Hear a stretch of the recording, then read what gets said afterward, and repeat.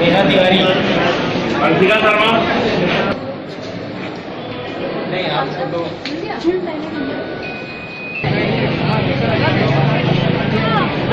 एक सौ अंशिका शर्मा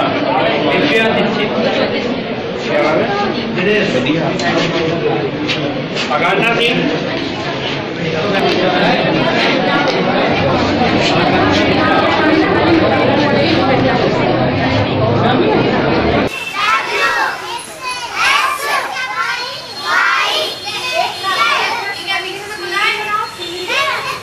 बैठ जाओ खड़े क्यों हो तुम पीछे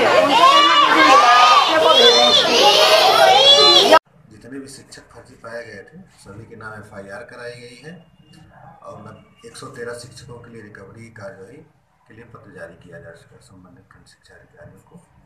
एफआईआर में गिरफ़्तार किए जाएँगे क्योंकि उनका पता नहीं चल रहा है कहाँ के हैं इस समय।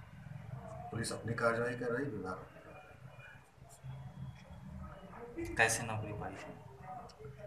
उन्होंने फर्जी सर्टिफिकेट लगा के पाई हुई। जाँच में साबित हो गया है इसलिए निकाले गए